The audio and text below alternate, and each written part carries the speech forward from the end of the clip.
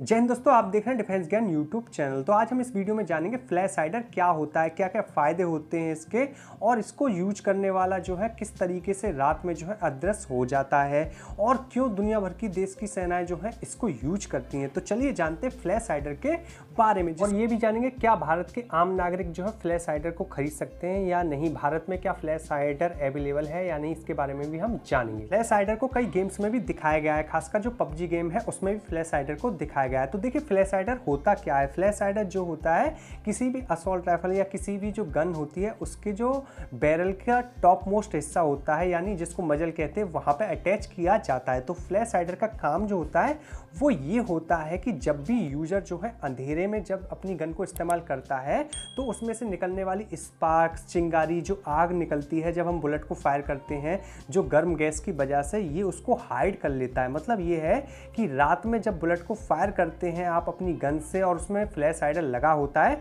तो आप जो है नहीं देख पाएँगे अंधेरे में कि कहाँ से बुलेट को फायर किया गया है और उसमें से चिंगारी नहीं निकलेगी तो रात में आप नहीं पता कर पाएँगे कि कहाँ से जो है फायर किया गया है।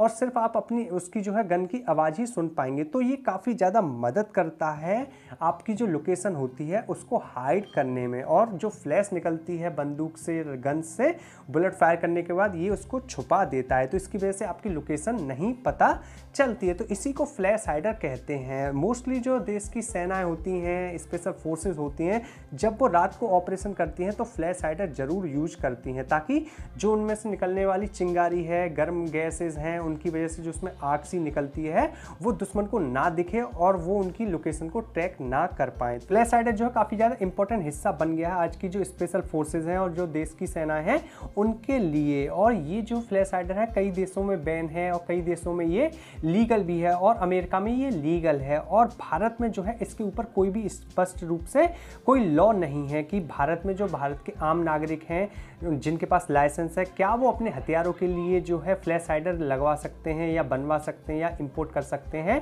या नहीं? इसके ऊपर कोई भी स्पष्ट रूप से लॉ नहीं है। लेकिन ये जो है मोस्टली भारत में भी इसकी अवेलेबिलिटी नहीं है इंपोर्ट करना बहुत ही मुश्किल है।